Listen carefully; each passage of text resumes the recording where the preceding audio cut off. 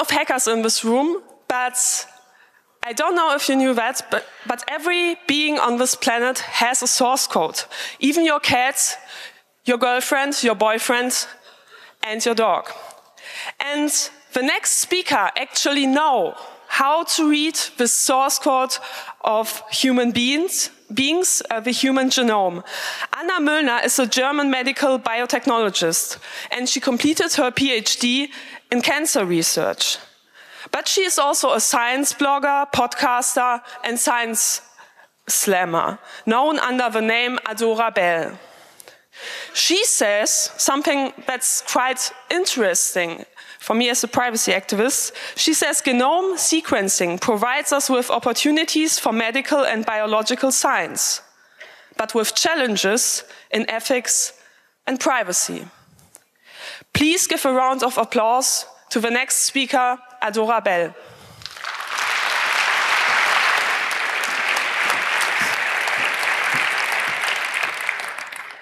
Yeah, um, hello and welcome to my talk about genetic codes and what they tell us and everyone else. You might realize it's a little uh, different code than most of you are used to. Um, so at first, I'd like to introduce myself to say who I am and how did I get here. Katasha already told you some of that, uh, so I can go quite quickly. I'm a biologist and I did my PhD in cancer research, so I'm always interested about cancer. And this talk will have a slight, uh, slight influence by that. Uh, I'm blogging, I'm podcasting, I'm talking about science and slamming about science as well. Um, but what people might actually wonder is how did I actually get here? And you may remember a couple of years ago, um, the Chaos Communication Club, um, Chaos Computer Club, sorry, um, uh, they stole uh, the uh, fingerprint of Wolfgang Schäuble because he wanted to put the fingerprint of each of us on our ID cards. And as you might have realized the last time you renewed your ID card, that actually happened. Um, and at the time, I was in Scotland and I was doing a, um, a, a course in forensics, and it's actually me and um, at a mock crime scene, so no people were harmed, but I was quite sweaty under the suit, so. Uh, and um, I realized that if you take the glass of someone they drinks from and you take the fingerprint, you can also take the genetic fingerprint, and actually, um, there's the whole genome of someone on there. Um, so um, to quickly summarize where you can find genetic information, um, you can find it just about anywhere. You can find it on shed skin cells, in the saliva, in blood, in hair, in urine, in feces, in sperm, in vaginal fluid. Um, and we actually we spread it all the time and um, for example, you have it on your toothbrush, on your hairbrush, uh, on your keyboard, other personal items like your cell phone. It's even on used condoms. And remember, there's probably also the DNA of someone else on there. Um, and uh, also, you have it on other people. So if you scratch someone, you have their DNA. If you lose hair uh, and skin cells, if you touch people, you will transfer some of your genetic information. Um, and uh, also, like I said, with Wolfgang Schäuble on glasses, um, on letters that you lick to close them, on cigarettes that you smoke, and um, also some part of your DNA, and this is quite important, is in your relatives because you share the genetic information to some extent. So to quickly um, introduce the terms genetic fingerprints, uh, genetic fingerprints actually uh, provide no personal information as such besides the biological gender. That's what you can actually check for, but the other information is nonsense information that will not tell you anything about the person. Uh, but it gives you a possibility to find relatives since you share um, these, um, the, these information. And um, it gives you the possibility to re-identify people, and um, it's a unique sequence. Um, and if you compare this to a whole genome, which is becoming more common now in, um, in research, you can find the biological gender, of course. You can find the ethnicity of a person. You can look at genetic diseases. You can find out something about the looks of the person. And you can find out things about their relatives as well. And uh, as we do more research, we will find that there will be even more information to come. And similar to the fingerprint, you will be able to re-identify people um, with this unique sequence. And in between the fingerprint and the genome, um, there will be a lot of genetic profiles that have um, some kind of reach, uh, depending on how far you want to look, how deep you want to look.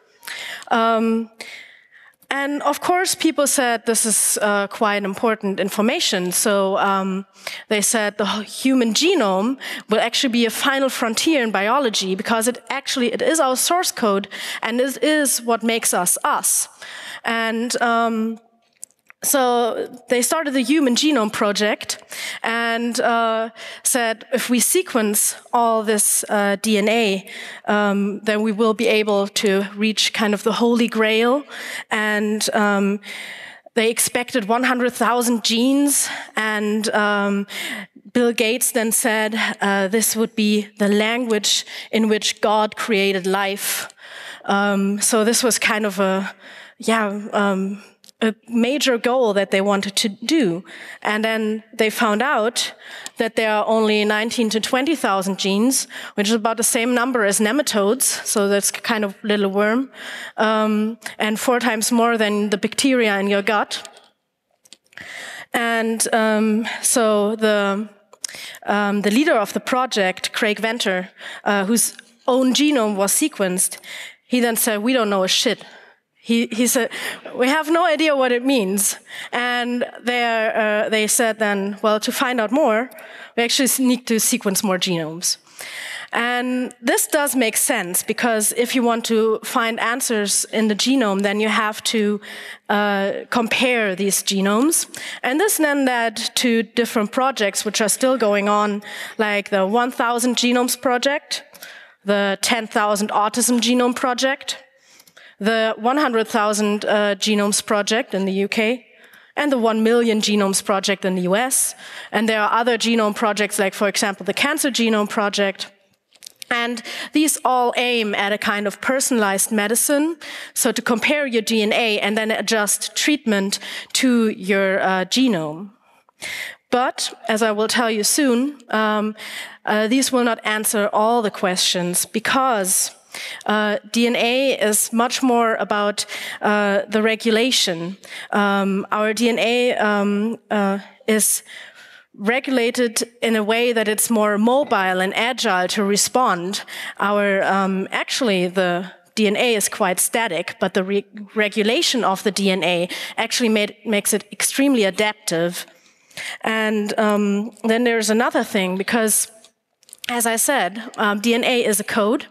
Uh, it's similar to your code and code that you do uh, for a program, but then how the user uses this program can vary extremely widely.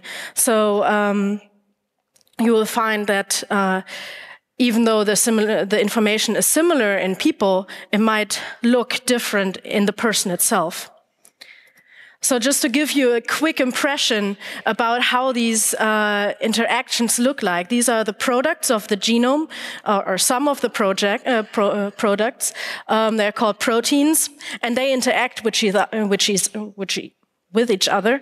And um, we will find that they have all these interactions, all these crossroads. One interacts with the next, and this then inhibits something else. And this is quite complex. But still, DNA research does have its uses. So um, it will provide us with valuable information. But what you need to keep in mind is that uh, is it valuable for whom? So um, it could be used, the whole genome sequencing could soon be used um, instead of specific tests because it's becoming more and more cheaper all the time. And it would give us the possibility to study specific genes in a population, a genetic uh, disease, inherited cancer, and genetic risks. And um, So since I'm a cancer researcher, I'm doing a quick uh, X course here. Um, uh, you can study single gene diseases, which are usually then, if you have a mutation, um, and you find this in the genome, the person will have the disease with a very, very high likelihood. There are very rare cases which this does not happen, uh, but these are very rare, these uh, single gene diseases. And um, also, there are some cancer genes. Uh, these are genes that we all have, but if they are mutated, they will very likely lead to cancer in a very, at a very early point in life. And you might remember Angelina Jolie, who found a cancer gene, uh, gene in her that was um, uh, that would lead to her having breast cancer very early in life, and so she had her breasts removed. And um, this also exists for colon cancer, and there are also special syndromes um, which lead to having more or being um, being more susceptible to cancer. Uh, so these are also rare, actually. Um, but it is very likely that in the Western world, we will die from two major causes. Uh, one is uh, cardiovascular disease, and the other is cancer. And um, when you think about uh, how to not get cancer, um, I always say it is to be boring. So you need to have a healthy lifestyle. Uh, so no smoking, less drinking, staying fit, and uh, not eating too much, and uh, avoiding radioactivity also plays a big part. Um, and uh, not to go into the sun without sunscreen and uh, to accept your screening appointments uh, with your doctor. But even then, uh, I always say that cancer is mostly bad luck, which is also the opinion of many cancer researchers. Um, and if you don't get it, it just means that you have not died of something else earlier because it is a disease that comes with age and it gets more um, likely to have this disease as you become older. And genetic risk factors then play a very little role, actually. Um, so then let's talk about the private genetic sequencing companies that are uh, sprouting up everywhere. You might have heard of uh, 23andMe. Um, uh, which is a mail-in genetic test, which tests you for diseases and ethnicity, and they sequence over 500,000 gene locations. Uh, there's a similar company called Ancestry, which just check your ancestry, so, so, kind of your ethnicity. And there's the Ingeniac.com surname project, which uh, compares your DNA to a male lineage, in the male lineage, with uh, the last name. And also now we have whole genome sequencing companies like the Full Genomes Corporation, Guardiome, Gene by Gene, and even more. And um, you have to uh, realize that these companies will have quite some genetic information stored. And uh, this is all nice and safe since the government in America, where most of these companies are, uh, has repeatedly shown to respect privacy. Um, and of course, that won't change under the new president, I think. Um, so uh, already uh, in 2010, Kashmir Hill, an author at Forbes, she wrote an article called Genome Hackers, where she showed a, a lot of foresight. And um, I'm just going to quote here As gene tests become common, possibilities for abuse will intensify. Banks might not offer you a mortgage if you were likely to die before it was paid off. A pregnant woman might secretly get DNA from her lovers so she knows who the father is. Someone might check out a potential mate for genetic flaws. Politicians might dig up dirt on their rivals. Another question, how far should law enforcement be allowed to go? Should prosecutors be allowed to subpoena a company's DNA database of thousands of people if they suspect it contains a match to a crime suspect? And um, then a year later, uh, Robert Langreth, he referred to this article and then said, I think this issue is just starting to emerge. It will be a classic conflict between scientists' desire for more data and Americans' desire to keep sensitive per uh, personal information private. If your DNA is an easily accessible database, what are the limits of what bureaucrats can do with it? And what I find quite interesting here is that he just makes this between scientists and privacy oriented Americans. Uh, when we think about it today, it might be more like uh, companies and people who don't really think about privacy. And um, then uh, we come a little year, uh, a couple of years later, and actually, this is uh, what then happens. So 23andMe and Ancestry were repeatedly asked by uh, law enforcement to hand over DNA databases, and they actually disclosed that they have five um, DNA samples that they gave to the cops. Um, and uh, so one uh, case, for example, uh, which was not 23andMe, but um, that's a, a, filmmaker, and uh, there was a cold case, and there was uh, DNA on a, the murder victim, and they compared it to a voluntary Y chromosome database search, so a male lineage search, and they found out that uh, the DNA uh, on the murder victim belonged to someone who was related to someone in this database. And uh, that someone actually had a son. So they said, um, well, then we test him. And uh, so they uh, found filmmaker Usry and they tested him. However, the complete DNA then did not match and uh, he was cleared of the charge. And um, a statement by the privacy officer of 23andMe kind of shows what uh, we are getting into because she said, in the event we are required by law to make a disclosure, we will notify the affected customer through the contact information provided to us, unless doing so would violate the law of a court order. So if your DNA becomes interesting in a crime case, they might tell you, but they might also not tell you. Um, and of course, then there's this I've got nothing to hide, and the suspect was cleared, so um, it will all be in order after all. Just always remember that there can be planted evidence, because as I said, you shed your DNA everywhere.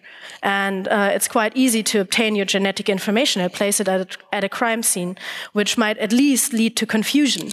And um, there could be circumstantial evidence so that a crime happens somewhere where you're uh, working or where, you, where you're often.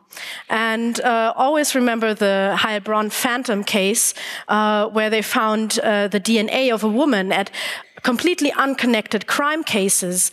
And uh, this uh, DNA was later um, later found in the swabs that they used to test the evidence uh, because the lady who had produced these swabs had contaminated the swabs.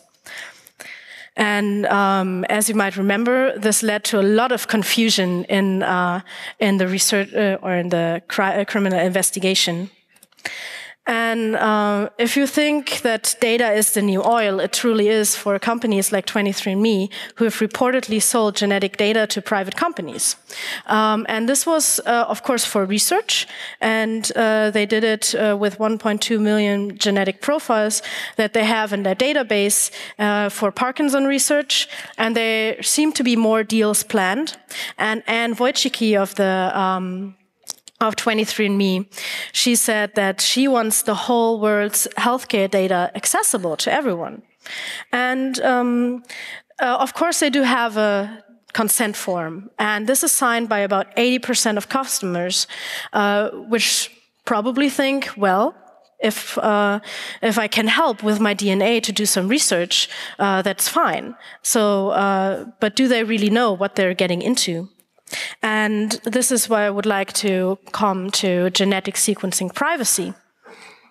And um, if we talk about privacy, we have to think about for whom is a genome interesting. Um, since uh, the 23andMe test, for example, is a mail-in test, so you could send in the DNA of someone else, and uh, then you could test someone else on their genes. And this could be a prospective partner if they have good DNA uh, to have offspring with, maybe, or uh, might die early or might die late. Um, family members, uh, if you want to know if your son is really your son, your daughter is really your daughter, um, test for paternity, and uh, maybe if you want to know if you were adopted. Uh, insurance companies might be quite interested in this data. Employers could be interested. And prospective parents could be interested because you can test from just one cell the genome um, of an embryo, for example. And who knows who might else be interested once more information becomes accessible. And uh, the price is quite cheap, actually, to do the genetic test with 23andMe is $200.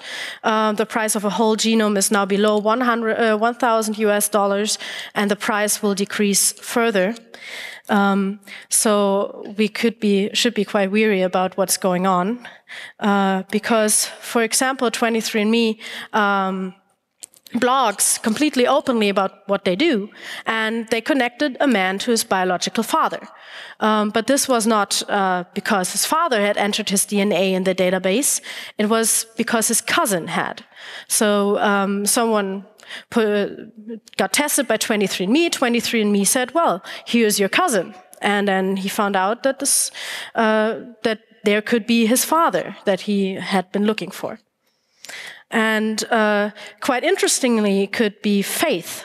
So there's an African American woman who was always interested in the Jewish faith and then found out via 23andMe that is, she is related to the Ashkenazi Jewish um, tr tribe. Um. and um, today, this information is uh, well, just information. It doesn't really matter to us. But just remember if this information had been available 70, 80 years earlier, and uh, a similar example could be Indian castes. Uh, so the caste system in India is outlawed, but uh, if you're uh, still a traditionalist there, uh, you could test people to which caste they belong to and discriminate against them. And then there's another um, another uh, case that just happened this year, uh, where there are plans of testing uh, genetic gene testing at the Kuwaiti border. Uh, and they say, of course, this is anti terrorism, which does not really make sense because you need some DNA to uh, compare and to find terrorism and uh, terrorists. There's no terror gene. And um, what could be uh, the real reason could be to keep out, non, uh, out non-Kuwaitis because they have nomads like Bedouins that they don't really like. And um, that uh, they could also test family members and then put them under pressure if they might have a, an illegitimate child or if their wife has been unfaithful, just to put on um, some, yeah, some kind of bad information about them. And uh, when I was doing research for the talk, I found um, quite interesting um, that a blogger had his whole genome sequenced and he got a hard drive from Illumina. And this hard drive was actually encrypted and was uh, encrypted by TrueCrypt. So this was two years ago. Uh, we now know that this might have not been completely safe. And, uh, but we also have to take, uh, yeah, uh, take up that genetic data can be useful, but we have to have this compromise because it can be misused. And um, since it does have relevance in research, there are, um, there's a large amount of genome stored for research purposes at many institutes. And David Goldstein said at the Institute of uh, Genome Medicine at Columbia University that there is an irreversible drive toward obtaining more and more complete genetic information. And we are all going to be sequenced. The question is just who does it and what is done with it. The challenge will be to do good things with the data. And if you want to do good things, you have to share the data, and the genomes need to be compared. And their data size is a problem because genomes can be extremely large, and um, depending on the coverage of the data and uh, of the genome. And there's about 200 uh, terabytes stored in Amazon cloud for the 1000 genome project. And there's also now Google Genomics, which wants to help you with the big data of genomes. And is that worth it? Well, maybe genome research can be worth it for uh, specific purposes during research and to adjust treatment of diseases, which works to a point. Um, but also uh, in forensics, but then we have to make up which limits. And um, for the individual, individual person, genetic tests are probably not necessary unless your doctor advises you to. And um, you have to wonder if your ancestry really matters that much to you. And uh, always keep in mind that this is not just your information, it's also the information of your relatives. And uh, do you really want to know what the test tells you? Does it, if it comes up with a genetic disease that cannot be treated, do you want to know? And also, if the DNA gets out there, if your genetic information is disclosed and you're connected to it, you cannot change your DNA. It will always be the same, and you can always be recognized by it. So uh, I'd like to thank you for all for your attention, and I hope you have some questions for me.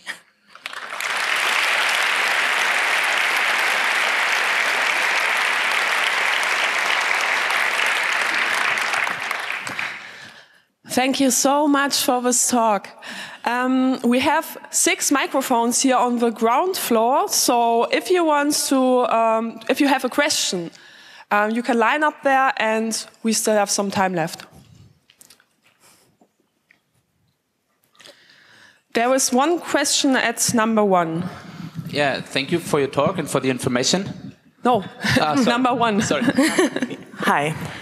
So um, you were talking about this problem with people wanting to share their um, their genetic sequence for science, but on the other side, you have the problem that the scope of that is not obvious. Um, Could you solve that by like putting everything into public domain?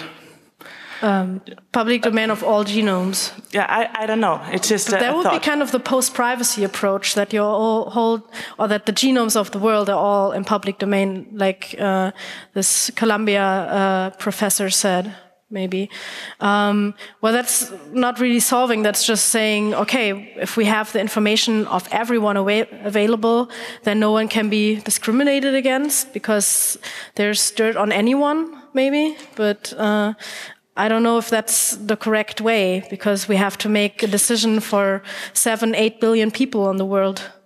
So Thank you for this question. We have um, also some question from the internet. As you don't want to give genetic information to corporations and government, is it possible to, to, to do the test at home? And how much would it cost? Um, so the testing of the DNA is done with 23andMe, but you can do the, um, you can disagree to share the information. Um, so, and then you'd ha have to hope that they do it as like such, uh, or as such. But that doesn't really know, but then I don't know if it might, uh, still come up for, uh, police, uh, investigation still. So doing it at home would be quite, uh, yeah, difficult because the sequencing machines are very, uh, yeah, cost, uh, uh, or very costly and very difficult to use.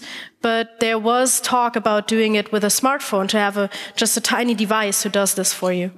Um, but I have not heard that this is now accessible yet. Another question from number three. Hi, uh, from your expert point of view, have you been thinking of or are you in a database for uh, bone marrow donations? And what do you think about that? Yeah, I, I actually am, and I did this when I was 16 I wasn't really thinking about it. Um, I think now that uh, this is. Uh, they, they will probably not take your whole genome, but they do have some information on me stored, and they might even have the probe still stored, like um, the blood that I gave at, the, at that point. Um, so they could still be doing, um, if they were uh, criminals, just uh, test my genome for that. So yes, but I am in the database and also a blood donor, so my blood is somewhere out there uh, all the time. And have you been thinking of revoking it? Like maybe you can revoke your database entry? I think I could, but for this, uh, as long as I don't know that they actually take my genome out of it, as long as they just store the information on my, um, yeah, my uh, major histocompatibility complex. um, so that's what they what they look at, but they look at it genetically. Um, I just hope to do some good, but uh, yeah, you're you're right. They. Pro they probably don't have my whole genome as such as information, but they do have some genetic information and they do have my probe stored. So. Thank you for this question. Um, there is another question from the internet. Do you think these kind of studies are already carried out secretly from our samples we give to healthcare orgs, just like blood giving? Um, well, well, if they do it secretly, then I don't probably don't know about it. But um, uh, so that's quite difficult to answer. But it could be possible, especially in uh, in regimes where uh, there's no democracy, for example, um, and. Uh, but I, am not sure if this happens because uh, I don't have that kind of information. So another question from number two. Um, hello. Mm -hmm. I think there was a project uh, that uh, uh, instead of uh, working with a lot of different uh, um, genome sequence, uh, try to work with a single sequence and branching for basically branching the little differences for mm. for everybody. Mm -hmm. Would that solve the the privacy the privacy problems a bit? to just look at the differences to other or, genomes? Yeah, or would that yeah. impair, I don't know, the research and, and stuff? Well, this. Uh, so there is a format that just checks for uh, differences in the genome, which is gives you a much smaller data size. So you have your common genome, and then you have the um, data size, uh, the just what the delta of it. And uh, but this will actually just give everything that is not. Um, well, not normal, so as a um, probability term, uh, than your than your DNA. So it's actually more condensed information of what makes you uh, your genetic code your genetic code. So that's not really helping with the privacy. So, so still, uh, yeah. Uh, you can still identify the, the yeah. single person. Okay, yeah. thank you. Yeah, that was unfortunately the last question because we are running out of time. The next talk is waiting. Uh, please give again a warm applause to Adora Belle.